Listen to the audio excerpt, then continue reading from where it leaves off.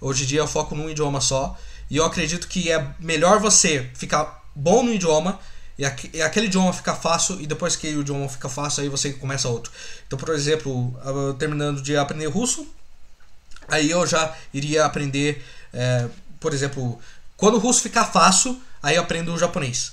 Não quer dizer que finalizou o aprendizado do russo, porque acredito que o russo é um idioma que dá para estudar até 2030. Hoje é, é 2024, mas até 2030, seis anos, dá para aprender muita coisa no russo. O russo é um idioma bem complexo e isso é muito bom porque é bom saber que tem bastante tempo aí para adquirir bastante conhecimento em russo e tá avançando e tá melhorando e talvez assim pegar o nível mais profundo e avançado possível no russo.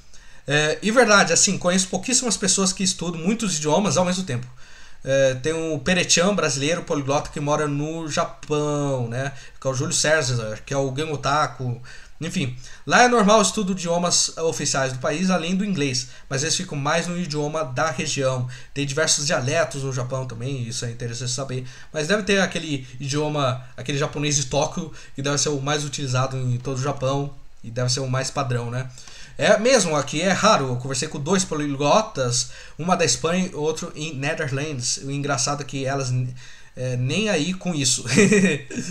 é, o que eu quis dizer, né? Isso foi uma experiência que eu, eu conversei com duas garotas do Discord. Isso foi num book club, sei lá, de um, uma booktuber qualquer aí. Eu entrei no Discord dela e o pessoal ficava discutindo. E eu perguntava, né? Só falando, sei lá, de leitura é, em outros idiomas. Eu perguntava quantos idiomas elas falavam. Elas falaram seis, a da Espanha e uma da Holanda. A da Holanda era uma tradutora que traduzia do grego antigo. Então, era um pessoal bem top, assim, parecia bem top. Mas, ao mesmo tempo, eu já duvido, né?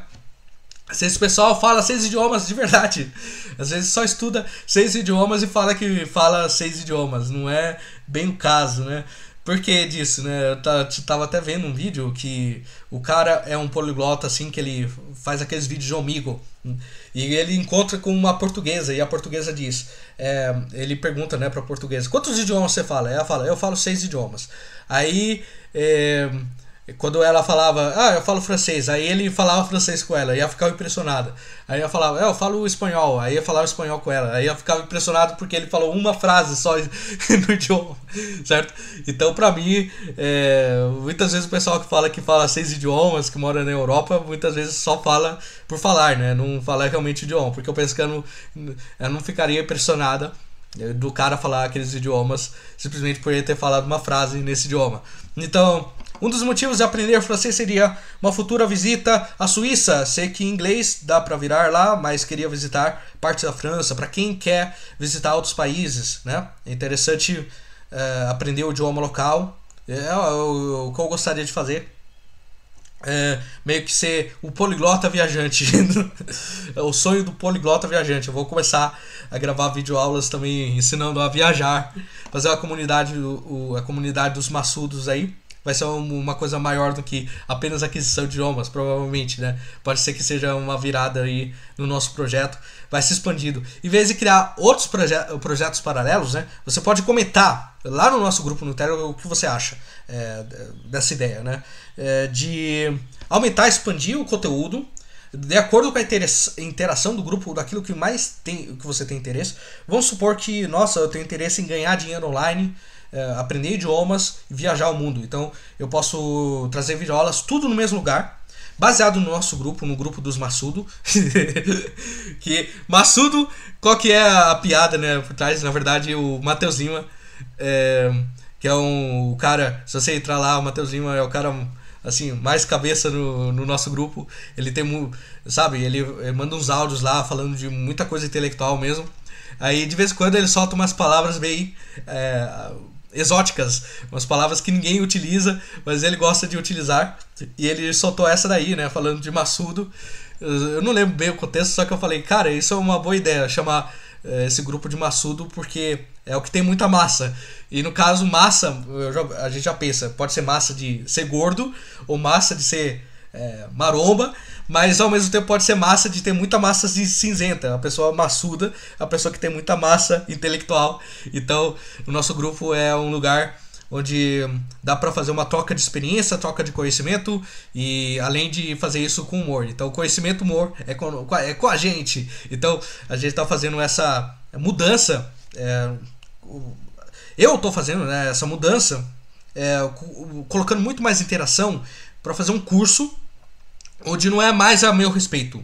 Eu fiz esse curso começando falando que eu acho que é a melhor forma de você aprender idiomas, isso desde 2019. Agora eu penso que aqui eu vou uh, apenas uh, colocar conteúdo que é interessante para vocês, uh, colocar minhas perspectivas, fazer recomendações de estudo e também colocar um lugar onde pessoas mais inteligentes que você pode lhe trazer um conhecimento a mais. então, eu sinto como se fosse dessa forma, que eu não sou o cara mais inteligente, mas tem várias pessoas inteligentes que fazem eu ficar mais inteligente. Então, aí fica um negócio bem legal. Então, caras como Luca Lamparello, Sir Kaufman, Richard C. Cott, né, que ele escreveu errado, mas escreveu sitcom. Estudo alguns somente de uma só vez, um, dois, três no máximo. Então, é, então eu, eu seria mais ou menos que nem esses caras também porque eles não estudam 20 idiomas num dia só. É, eles estudam num período de tempo, eles estudam um idioma e deixam de lado os que já estudou. E não tem nenhum problema fazer isso. É, muitos deles têm um tempo de recuperação, tipo, que nem eu faço com o inglês. O inglês eu não estudo, eu só estudo russo, mas quando eu vou interagir em inglês, eu lembro do inglês, eu só preciso estudar um pouquinho mais inglês para retornar a habilidade anterior que eu tinha, né? Então eu faria mais ou menos dessa forma. Então o Gengotaku, já o Gengotaku ele faz de outra forma, né? Ele estuda é, 18 idiomas no dia e estabelece sessões de estudo bem rápidas em cada um desses idiomas. E realmente o interesse aqui é explorar o máximo de idiomas, aí você pode escolher. Você pode fazer o mesmo princípio que eu estou ensinando aqui, é, para estudar vários idiomas uma vez e estar tá aprendendo muitos conhecimentos diferentes. Ou você pode focar num idioma só para conseguir avançar rápido naquele idioma e se aprofundar naquele idioma. E no meu caso, eu quero me aprofundar num idioma só, justamente por interesse pessoal. eu já tentei estudar vários idiomas uma vez, é divertido também, só que o meu interesse maior é estar focando na língua russa nesse momento. Sem dúvida, minha irmã foi para lá. Eh, todo mundo fala inglês, mas falar nos outros idiomas deve ser muito bom, né? Eu coloquei da hora. Então, tem o canal do Geotaku, o pessoal deve seguir aí. É, é, um canal de poliglota, ele não fala tanto da parte teórica, eu falo mais da parte teórica, uh, justamente porque é importante e porque eu não tenho tanta experiência assim de aprendizado de idiomas, eu tenho 5 anos. É, esse pessoal que é poliglota de verdade, eles têm décadas de aprendizado de idiomas. Então eu vejo assim: é, a única diferença de um poliglota e de uma pessoa que, uh, sei lá, que aprendeu poucos idiomas ou não se aprofundou em tantos idiomas é a quantidade de tempo. O poliglota pode ter passado vários anos estudando vários idiomas, ou pode ter alguém que passou vários anos estudando um único idioma. Não tem certo ou errado, só é uma diferença de foco. Então, um poliglota nunca vai. Vamos supor que a, uh, tem um caso que eu usava antigamente, que é de um livro que é do Rod Ellis. Rod Ellis é um famoso pesquisador é, na área de aquisição de segunda linguagem. Ele fala de uma inglesa que ela foi morar no Cairo por 26 anos. Aí ela aprendeu o árabe do Cairo da melhor forma possível. É, provavelmente, assim, o domínio que ela tem do árabe vai ser uma coisa que nenhum poliglota vai conseguir, certo? Porque é, ela ficou 26 anos no Cairo aprendendo árabe.